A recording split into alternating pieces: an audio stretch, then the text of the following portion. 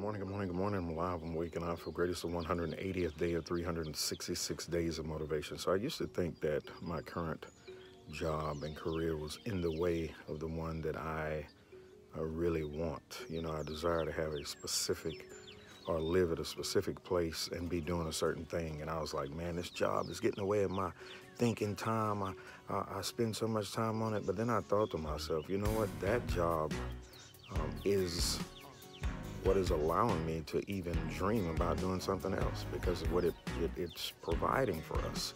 And so today I'm appreciating what I currently do because it is a stepping stone towards something else. There is no science to uh, entrepreneurship and going out on your own. Really, each person has to measure where they are and take steps, you know, that are going to benefit them.